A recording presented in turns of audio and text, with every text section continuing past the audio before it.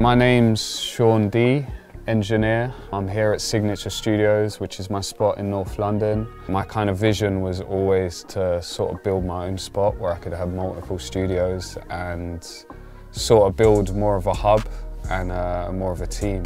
So we decided to kind of go for it. I found this warehouse, we cleared it out. It was complete shell, built seven units and we're here today. I learned to engineer just by teaching myself. So it was kind of just a trial and error thing. I saw loads of Americans using Pro Tools and when I built the studio in the garage, I kind of just copied a template that I found off YouTube and uh, taught myself Pro Tools. Didn't really know what I was doing for maybe a few years. But then as you kind of do it every day and you encounter problems, you sort of come across them by learning the method behind it. So yeah, eventually maybe like six, seven years into my journey, I would say I kind of knew what I was doing as an engineer. And then I started uh, my sort of journey on mixing, which was like, okay, I don't know what I'm doing as an engineer and I've had to relearn all the sort of methods to mixing. But I would say that one of the biggest things I learned is that there is no method and it's just trust your ears. So I used to think, oh, am I doing this right because I haven't been taught in a school or am I doing this right? Is this what this other engineer does? But really the, the proof is just all in the pudding. So it's just, if it sounds good and the end result is good, doesn't matter how you got there. I found a spot in uh, North London, Edmonton, and I was there for seven years. When I was there, I met sort of uh, better caliber of artists, so uh, Big Narstie, uh, Meridian Dan, uh, Black the Ripper, uh, those sort of guys. And from there, I did a tune called German Whip, which went to number 13 in the charts, which was quite a big deal at the time, and uh, for a grime song.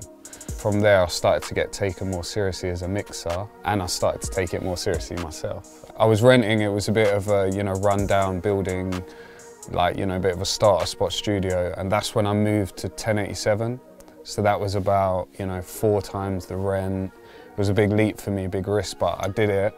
And within the first few months, I met an artist called Headie One, and he brought an artist called M Huncho, M Huncho brought an artist called Young Bane, Young Bane brought an artist called D-Block, and it kind of just snowfalled from there and I started doing um, that caliber of artists. Also at the time, drill music had just become, it was a new thing.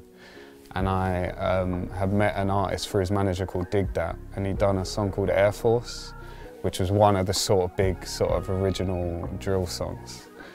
And yeah, that was the sort of start of that sort of stage of my career.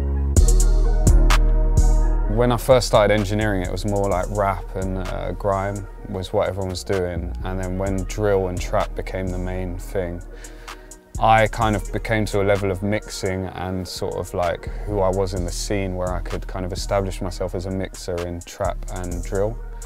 And um, yeah, I think it was a bit of right place, right time. And I, I found it really exciting because um, were sort of new sounds that I could sort of imprint my engineering on.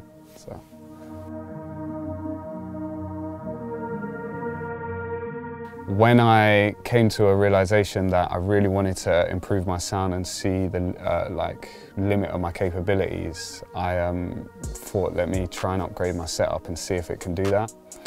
And although I'm a believer in you, you can achieve great results with a humble setup, I do believe that now having upgraded my setup, you really see the difference, um, especially that the PMCs make in um, being able to hear the detail of the sound and making the right choices and also the balance of the sound. Because um, you might hear a rough mix um, on on other speakers and think oh this rough mix is good. You hear them on the PMCs and you can almost straight away see where you can take that mix and how good it could sound.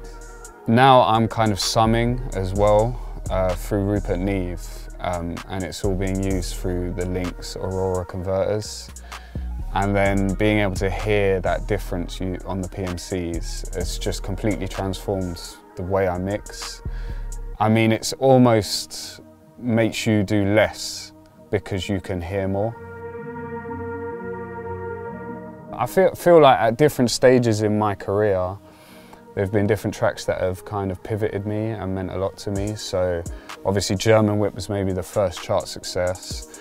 And then my first number one single, which was Tion Wayne um, and Russ Millions' Body. So that one meant a lot to me, which um, came out a month after we launched the studio. So that was a blessing.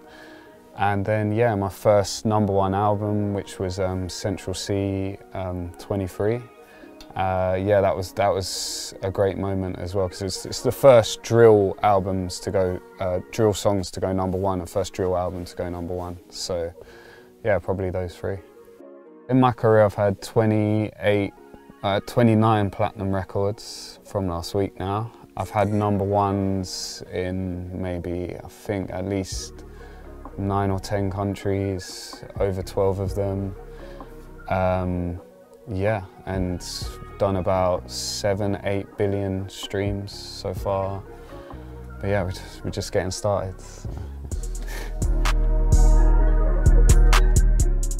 One great thing about upgrading to the PMCs was that um, when I'm showing artist mixes, uh, it kind of just blows them away to um, just show the sort of level of the sound. And although I do think my mixes have improved, just hearing them on the PMCs alone just kind of makes them love the song more.